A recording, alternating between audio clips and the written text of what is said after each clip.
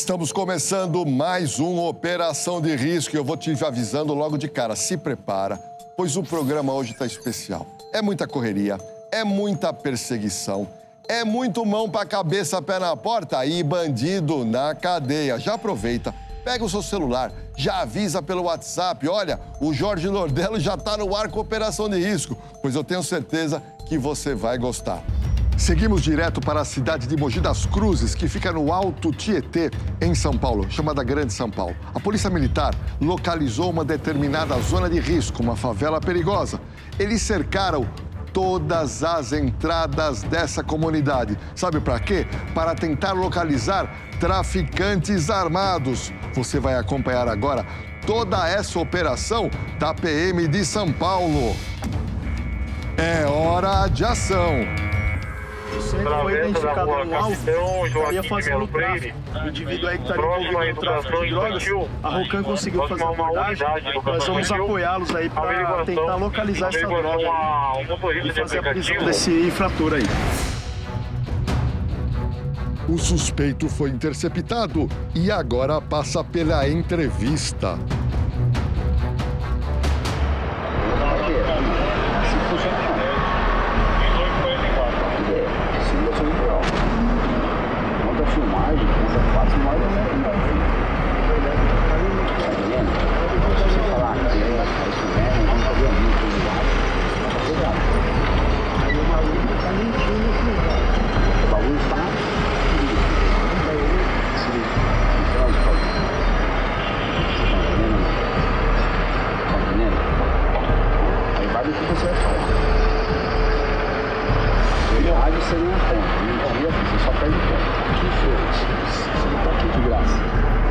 Esse tá trocando mais ideia com você. Quem é esse menino aqui? Fala pra mim, quem que é? Quem que é esse menino aqui? Sou eu. Preciso falar mais alguma coisa? Preciso mostrar mais alguma coisa? Preciso mostrar onde você guardou o bagulho? Entendeu? Então, tá tudo filmado. Certo? Então conversa com os policiais aí, troca uma ideia, nós vamos lá buscar esse negócio aí. Tá bom? Oportunidade aqui pra você conversar alguma coisa com eles agora. Tá? Esse indivíduo ele foi filmado né, é, fazendo tráfico de drogas e ele escondeu essa droga em outro local, tem filmagem a respeito. Ele supostamente ali, pelo que o pessoal está levantando, ele está passando identidade falsa, está passando uma identidade que não é a dele. Né? Mas aí a gente vai colocá-lo ali, vai conduzi-lo, vai até o local que está praticando o tráfico para ver se confirma todas as denúncias e posterior a gente vai ver essa identificação dele também. Que não é raro também eles passarem outra identidade por estar procurado pela justiça. É comum isso, né? É comum, isso é muito comum. Então dá o nome do irmão, dá o nome de um parente, muitas vezes até o nome de um parceiro de cela que ele fez amizade ali, que ele sabe que o cara não está devendo nada, pega os dados principais ali, eles têm esse viés. Mas a força tática, a Rocan, vai para cima e vai fazer apreensão aí se for necessário aí. O abordado não convence, recebe voz de prisão e é algemado. Os policiais fazem uma vistoria minuciosa em todos os locais. Nenhum obstáculo é suficiente para atrapalhar o cumprimento das buscas.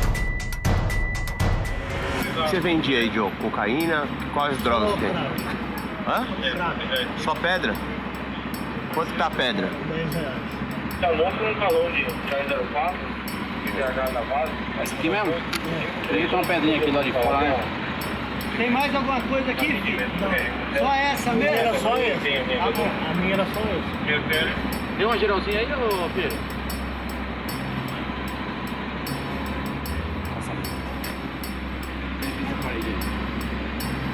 Na onda do meio do ponto. Realmente. Tudo crack, sargento. E pós grande sábado, aparentemente cocaína, né? Mas aí ser feito o trabalho de perícia para ser constatado se realmente é cocaína. Isso aqui aparentemente é pedra de crack. Mas também após o, o serviço aí de constatação IC, vai ser, vai ser falado com exatidão. Isso é só um pouco, né, sargento? Com certeza ele, ele reabastece em locais aqui perto mesmo, Com né? certeza, com certeza. Isso aqui é o, é o famoso, a famosa lojinha, né? O cara que vende em pequenas quantidades aí. Mas é o, é o serviço nosso aí da Polícia Militar, né? Tem que fazer um pouco de cada vez.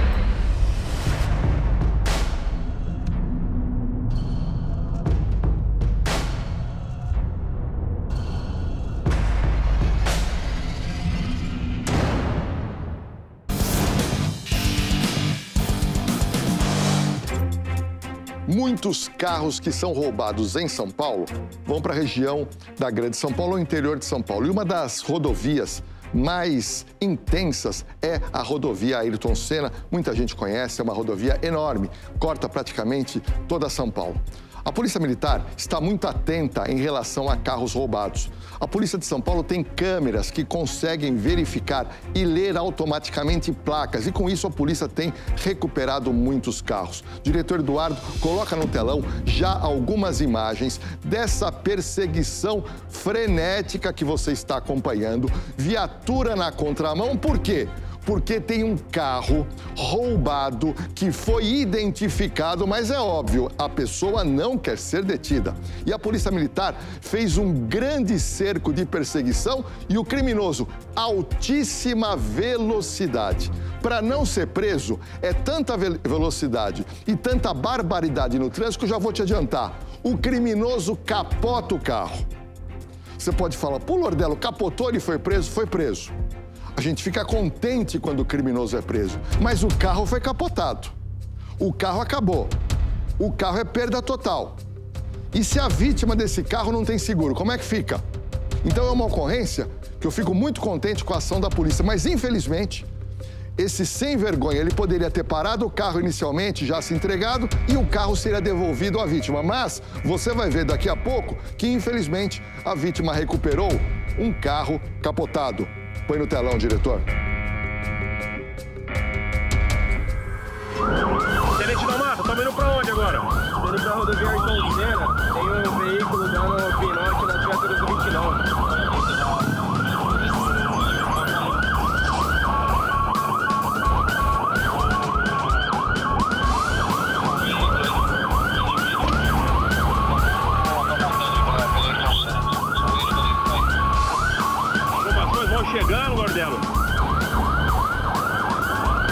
Do BAEP também estavam no apoio.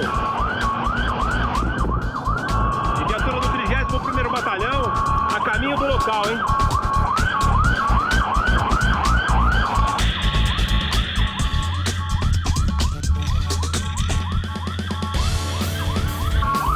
Já estamos chegando no local, Lordelo. Rodovia Ayrton Senna está interditada. O piloto da viatura se desloca com extrema perícia e rapidez. piloto experiente. Olha só a esquerda aqui, ó.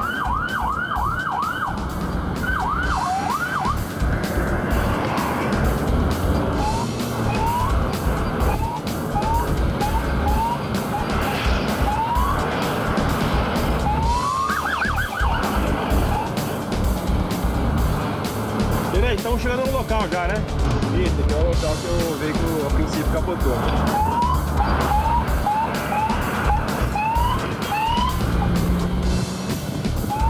Passou ali o veículo capotado.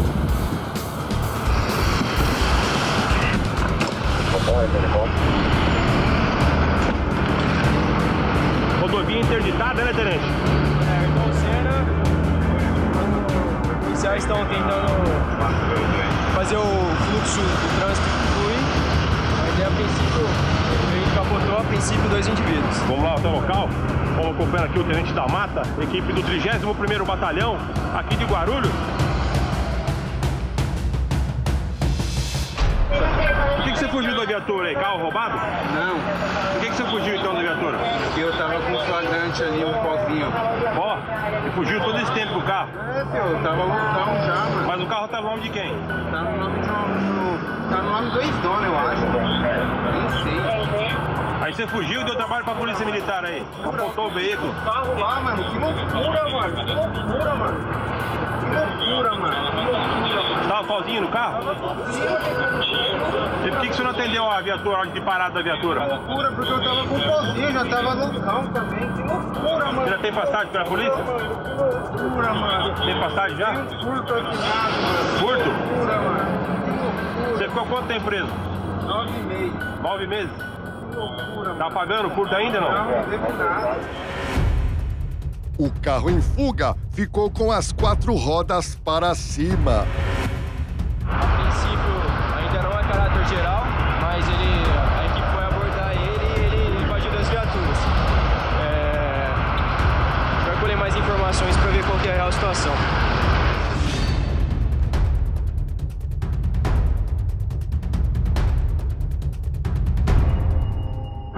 Coelho, foi uma intensa perseguição aí, várias viaturas no apoio, né? Várias viaturas, viaturas do 29 Batalhão, 2 de Ouro, da rodoviária, do 31 Batalhão, Guarulhos aqui. Eles vieram da Zona Leste, adentraram a área de Guarulhos. E o veículo, cidadão aí perdeu o controle, fugindo das equipes. E atravessou de uma pista da pista local para a pista expressa aí, capotando o veículo. Podia causar um mal maior aí, né? É, graças a Deus não atingiu nenhum, nenhum veículo de cidadão de bem aí que passava pelo, pelo local no momento. O indivíduo está detido aí pelas equipes e as equipes em averiguação aí para ver qual a procedência desse veículo.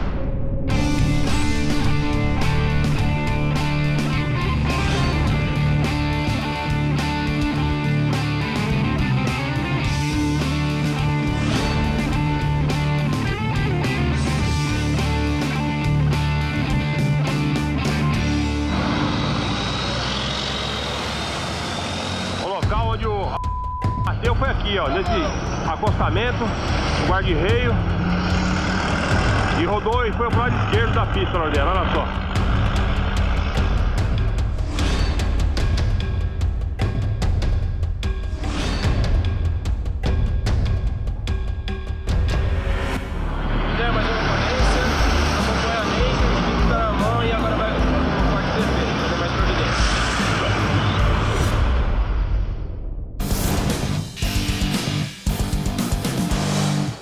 Uma das coisas mais difíceis para a polícia prender é estelionatário, é o chamado 171. E eu vou logo te dizer o seguinte: o Brasil virou terra de ninguém relacionado a isso. Muita gente tem perdido dinheiro. Eu quero fazer um alerta agora no programa. O novo golpe do bilhete premiado voltou. Só essa semana eu conversei pessoalmente com duas pessoas.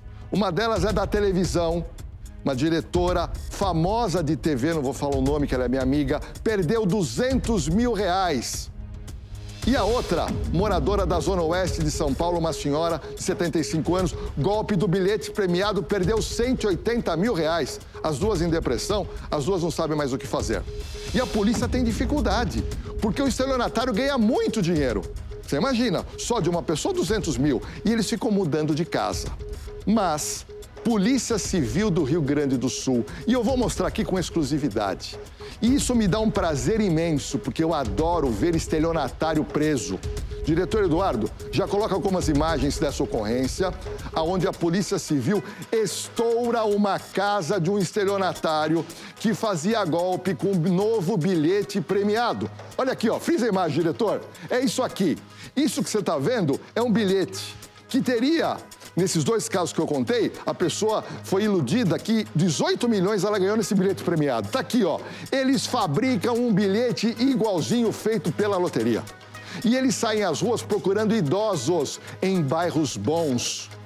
Você que está me assistindo, tenho absoluta certeza que você conhece gente que caiu no golpe do bilhete premiado. Pode ser essas pessoas. E outro detalhe, sem contar os golpes via digital, via Pix todos os estelionatários ganhando muito dinheiro. Legislação não ajuda, mas nesse caso, Polícia Civil do Rio Grande do Sul invade a casa, arromba a porta e você vai ver, você vai ver o que esse malandro tinha dentro da casa para ludibriar pessoas inocentes nas ruas. Então vamos ver agora como foi essa ação da polícia contra um estelionatário no Rio Grande do Sul. É hora de ação. Estamos indo buscar alguns criminosos especializados no golpe do bilhete que já fizeram diversas vítimas tanto no Rio Grande do Sul como Santa Catarina, Paraná e São Paulo, totalizando um prejuízo aí de mais de 2 milhões de reais. Então nós conseguimos as ordens judiciais e agora estamos indo para o cumprimento.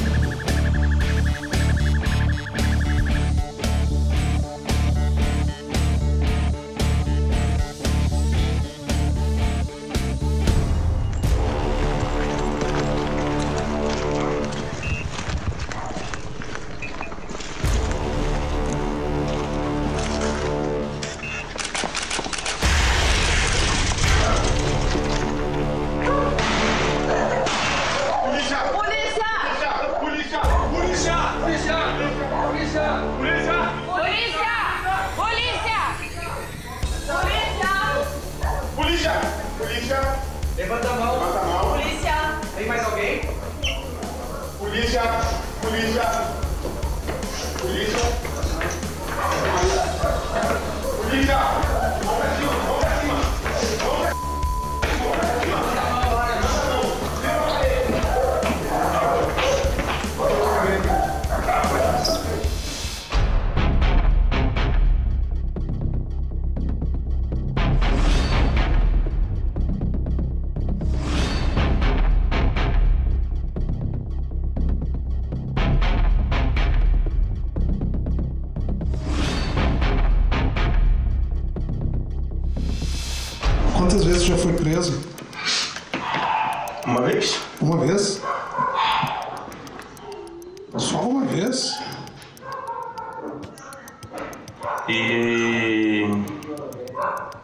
Em Cascavel, uma vez eu fui.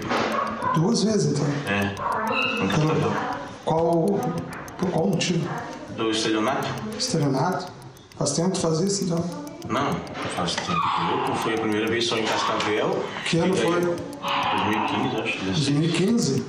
A gente tá em 2023. Mas aí mesmo, só que eu parei. Uhum. Parou? Acho que daquela vez ele acho que deve ter ficado fora. Quanto tempo ficou preso? Lá. Tipo, quatro meses. Só? Quatro meses e nove dias. E aqui? Hum? E aqui? Aqui eu fiquei quatro meses. 3 milhões e 100 mil reais.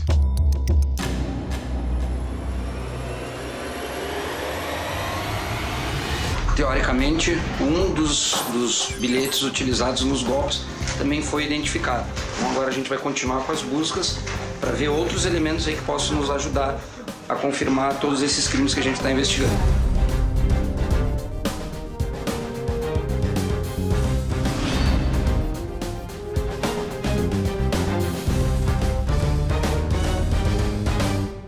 Eu queria agradecer você, telespectador, que tem mandado fotos assistindo o nosso programa e sábado você sabe que eu escolho duas. Muitas fotos que vêm do Brasil, vêm do exterior. É incrível ah, o público que gosta do Operação de Risco e hoje eu escolhi duas fotos. Mas na realidade hoje tem uma novidade. A primeira não vai ser foto, não. Vai ser um vídeo. Esse vídeo foi enviado pelo, por uma pessoa que gosta muito do meu programa, que é o Eduardo, lá de Ribeirão Preto. E ele está acompanhado de um policial que você conhece. Põe no telão, diretor. Grande Lordelo, eu estou em Ribeirão Preto e encontrei um fã do programa aí, um fã de todo mundo, inclusive do diretor Eduardo. Manda um abraço pra galera que assiste Operação de Risco. Oi, gente, um abraço pra vocês. Sou Eduardo de Ribeirão Preto. Curto muito o programa de vocês. Vocês estão de parabéns. Continue, a audiência de vocês está 100%. Um abraço. É isso aí, ó. O Eduardo falou que não perde um final de semana. É isso aí, sabadão é dia de Operação de Risco, é hora de ação. Que legal, obrigado, seu Eduardo, obrigado, Palumbo. Palumbo tá lá em Ribeirão Preto dando cana com a Polícia Civil. E a segunda fotografia, diretor Eduardo, é um garotinho bonitinho, camisa de time de futebol, como é que ele chama? É o Marcos Vinícius. Põe no telão, diretor. Olha o Marquinhos aí, ele disse: Boa noite, Lordelo. Me chamo Marcos Vinícius, eu sou de Pouso Alegre, Minas Gerais, terra linda. Assisto todos os seus programas. Adorei saber, Marcos, que você gosta aqui do Jorge Lordelo e do Operação de Risco. Mas vamos lá. Agora tem o desafio, hein? Pega o seu celular agora. Agora.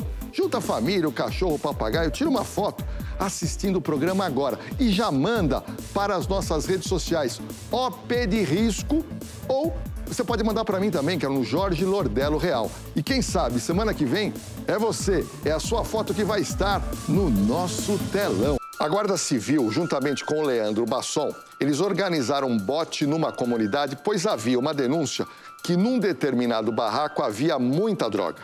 Eu quero que você preste atenção nessa ocorrência. Diretor, já estamos aqui com algumas imagens, a correria do pessoal do Leandro Basson entrando nessa comunidade.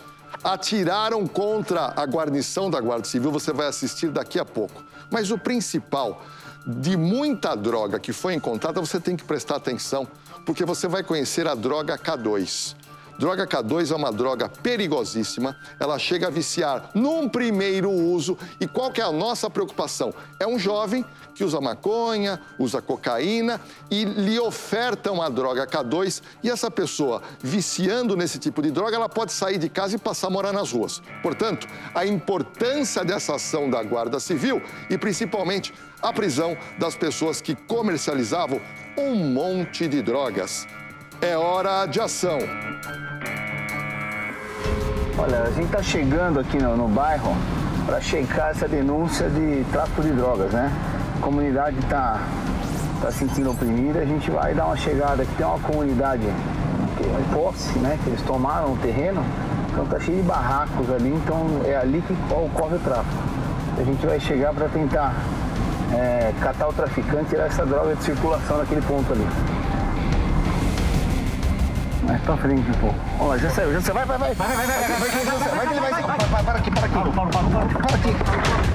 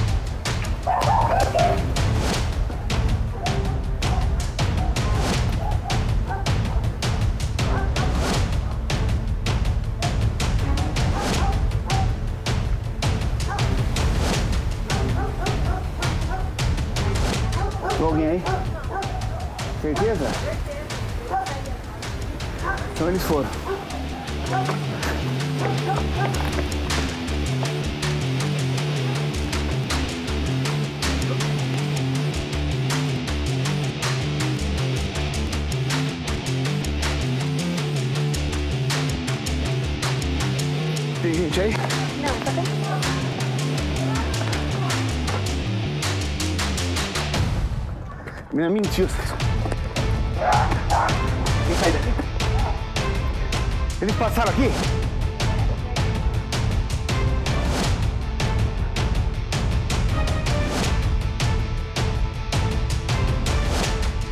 Os policiais seguem com a incursão no interior da comunidade.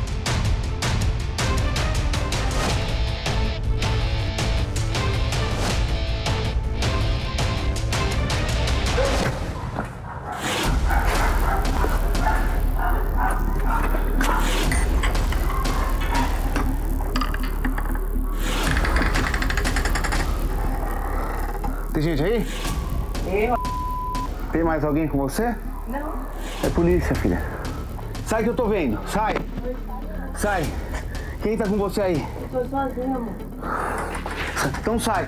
Levanta, coloca as duas mãos na cabeça e sai. Pode vir. Você tá armado alguma coisa? Eu não tenho nada, não, amor. Tá, o que que é esse saco de droga aqui? Não é nada meu, não. Não, não é seu? Não. Não? Tem alguém com você aí?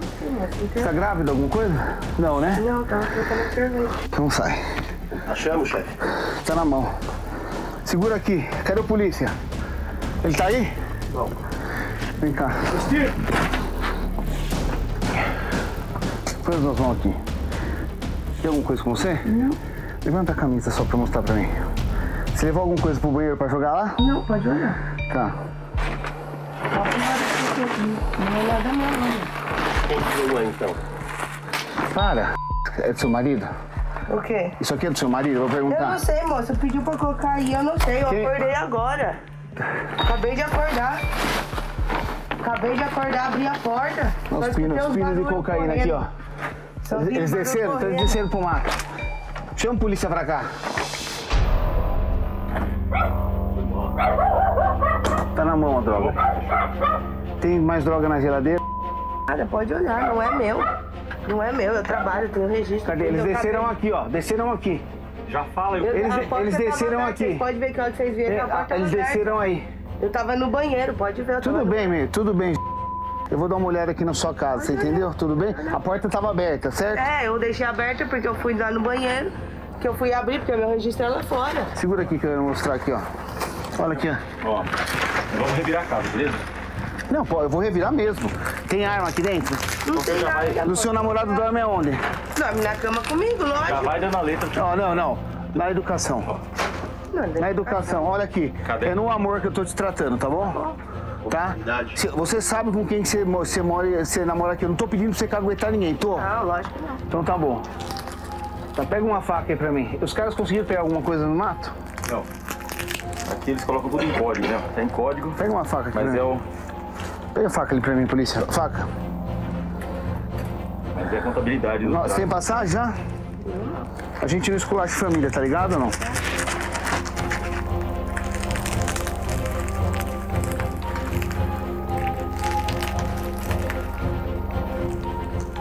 Quem que deixou aí? Moça, eu tava no E banheiro. aí ele falou o que pra você? Vou deixar aqui. Não, passou correndo, moça. Eu tava É, no tá arma Isso aqui é uma to- Taurus. Se, eu- se eu achar arma na, na casa, vai ficar ruim pra você. Agora chega de mentira. Eu não tô mentindo. Falar que largaram arma também vai ficar complicado. Não, é, não tem nada, pode olhar. Tá. Seu marido guarda arma aí? Não, aqui não guarda nada, moço. Não é. Do equipamento da arma, né, chefe? É. Vê se não tem arma aí dentro, né? Ó, carregador aqui, ó. Ó. Carregador. Pega que tem outro saquinho desse aí. É melhor você dar a letra, já onde tá. É, eu não. Escuta, eu não esculacho família. Eu não tenho Está nada. tratando você com respeito, com educação. Então... E eu também tô. Que é o mínimo, né? É o mínimo, uma casa cheia de droga, com arma. É o mínimo, né? posso é, dizer o quê? Então, você- é o mínimo que você Eu pode não tratar com educação. B.O. que não é meu. Eu pedi pra você assumir alguma coisa? Mas eu tô Você tá falando. sentado em cima do bagulho, você, entendeu? perguntou se é meu. Você não. A senhora e senhor. Vamos começar assim? Ok. Tá? A senhora e senhor, tá bom? Ok. Você me chama de senhor e eu te chamo de senhora. Vamos manter a educação. Tá. Das partes. Pode olhar, pode olhar. Se Não, tudo bem. Coisa. A gente vai olhar. Isso aqui não tem como não olhar. Não, Tá? Tem droga na geladeira? que eu saiba, não tem. Esse saco na geladeira ali, ó, branco. Ó, ma maconha na geladeira? ó. Aí, ó. Dentro da geladeira? Mas eu, eu fumo maconha. Daí eu Essa maconha é sua? Entendeu? A maconha eu fumo. Ah, essa maconha é sua? Não tem problema. É sua essa maconha? Entendeu? Essa maconha é sua? Eu ganhei de um amigo. que Ah, então é sua. aqui. Não, tudo bem. Tem, tem mais droga? Vamos, vamos. Não, moço. Que eu saiba Tem não. mais? Que eu saiba não, moço. Então a gente vai acabar se complicando. Que eu saiba não. O que tem é isso daí. Pega- pega esse saco- esse saco pra mim. que eu tô vendo também. Pe- Pega o saco pra mim. Cuidado.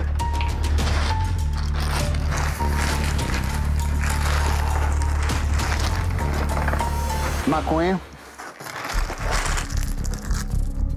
Mais droga sintética. Você sabia que isso aqui é droga sintética? Você usa isso aqui também? Eu não. Como que é o nome dessa droga? Vamos ver. Eu não sei. Não, que tudo que bem, é. tô perguntando. A eu sei o que, que é. E essa aqui? Essa daí eu não sei. É. Oi! Faz, faz a parte lá fora. Parte lá fora. Segura aí. O que foi? Tá, beleza, vai lá. Isso aqui é K2. Dá uma olhada aqui, ó. Você usa K2 também? Eu não.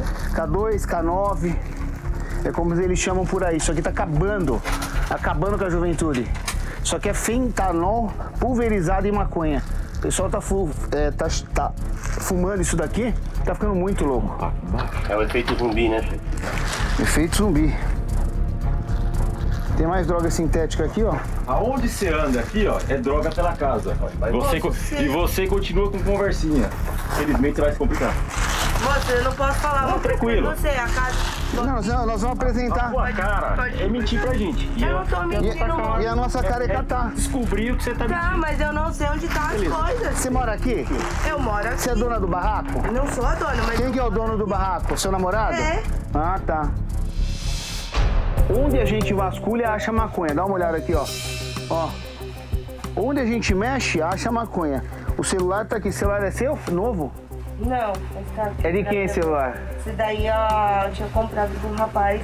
Só que não deu conserto. deixa, deixa eu falar uma coisa. Como que é teu nome mesmo? Que puxar o e-mail é roubado, você assina um 180. Sim. Tá bom? É roubado isso? Você não Que eu sabe? saiba não, que eu comprei do rapaz ele falou que Tá. não tinha nada. Dá o saco aqui, ó. Polícia, coloca mais aqui no saco.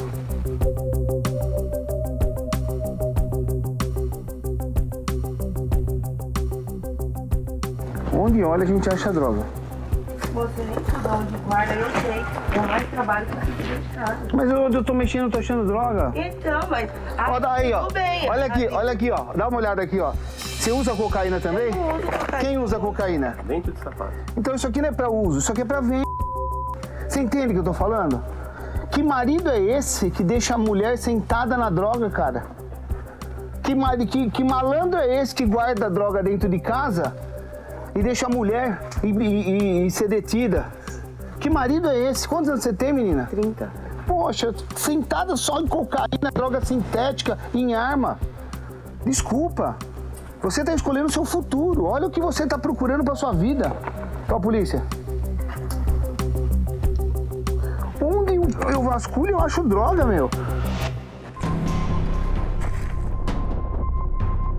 O que, que é isso aqui? Dá uma olhada, isso aqui, isso aqui é K9. Não. Isso aqui é skunk, ó. Foi falado, a molecada tá. Isso mas aqui. não é o efeito de, de cada... K9 é uma coisa mais forte, né? Não, é menos. Não é igual. Não, é mais forte que a maconha normal. Sim. O skunk ele é feito Porque- como, você sabe? Eu não sei, eu sei que eu fumo, eu não vou negar. Porque Não, você fuma o skunk, qual é o efeito do skunk? É a mesma coisa da maconha, só Mas- que a brisa é mais forte, assim, você fica... Muito mais louco, É. né? Não, legal, Eu não tudo tenho bem. que mentir. Não, legal, é isso, vamos Eu começar. vou- E eu não tenho que mentir, entendeu? O que eu uso, eu uso. Cocaína eu não uso, não, mas... Ele é mais caro que a maconha? Ele quanto custa o skunk? 10. 10? Mas a maconha custa 10? Também é mais. É. Sabia que sua filha estava sentada em cima de um monte de cocaína, de, de maconha, você sabia disso? Não tem, acho. Não. Procurado. Isso é o marido que ela tem, segundo ela. Como é que você casa com um cara que deixa droga em casa? Entendeu o que eu tô falando? Entendi, o senhor tá falando, mas eu tô entendendo. Você tá passando mal? Eu enterrei meu filho ontem, doutor. Deus me livre. Meus sentimentos, tá? Não tem como eu saber. Meus sentimentos. Ah. O que aconteceu com ele? É, morreu com a, a úlcera estourou. Meus sentimentos pra senhora. O senhor ficou sabendo, o rapaz que morreu aqui. É, eu tô sabendo. Meus sentimentos. Ih, vem aqui. Senhora, tá tudo bem. Sua filha tá comigo. A gente vai conduzir pra delegacia. Eu sei que. Eu é, com ela. ela, ela é maior de 18 anos, não é? É, mas Pode ficar sossegado. Tudo bem. Pode ficar sossegado. A senhora pode ir lá na delegacia, não tem problema. O que, que a gente quer mesmo é o traficante, tá? Olha bem pra mim. Eu não mexo com família. Família pra mim é sagrado. Quem sabe como é que eu trabalho sabe como funciona. Agora, o cara deixar ela sentada num monte de droga. Como é que funciona um negócio desse? Que homem é esse? Tá bom? Eu vou acompanhar. Agora, agora a senhora espera lá, pode ficar sossegada que ninguém tá maltratando. Ela, ela tá acompanhando. Eu prefiro que ela acompanhe a vistoria para depois não falar besteira, tá bom? Daí eu tô aqui fora. Olha o que a gente, o que a gente localizou, um drone. Sabe para que eles usam o drone? Aqui é a parte de baixo, para subir e identificar quando as viaturas estão próximas. Então lá de cima consegue ter toda a visão, tá bom? Ó, isso que o tráfico está usando, a tecnologia. E fica muito difícil trabalhar e, e combater o tráfico dessa maneira, mas a gente vai continuar batendo, você vê, a gente chega mesmo. Não tem dó não. A operação foi muito bem sucedida. Dividimos a equipe em dois grupos. Um veio pela mata e nós entramos pela frente da comunidade. Conseguimos apreender grande quantidade de entorpecente. E o que é diferente, aprendemos um drone. O pessoal usava o drone para poder identificar as chegadas da viatura. Então eles subiam drones e faziam toda a ronda do perímetro com o drone. Aí ficava mais fácil. O pessoal com o rádio com o drone já avisava, ó, tá vindo viatura, não tá vindo. É muito interessante que é a primeira vez que a gente aprende é, esse tipo de, de equipamento que o tráfico está usando.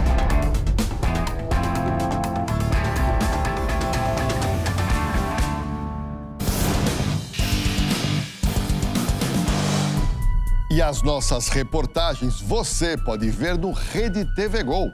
É só você entrar no site redetvgol.com.br ou baixar o aplicativo e se cadastrar. Gente, é de graça e lá você encontra todos os programas da casa, aqui da Rede TV, a programação ao vivo e ainda conteúdos inéditos. Mais um lembrete, hein? De segunda a sexta eu tenho meu novo programa que é o Hora de Ação. Começa às 18 horas, segunda a sexta-feira, e eu conto muito com a sua audiência. Fique agora com o programa Mega Senha Power, apresentado pelo divertido Marcelo de Carvalho. Boa noite.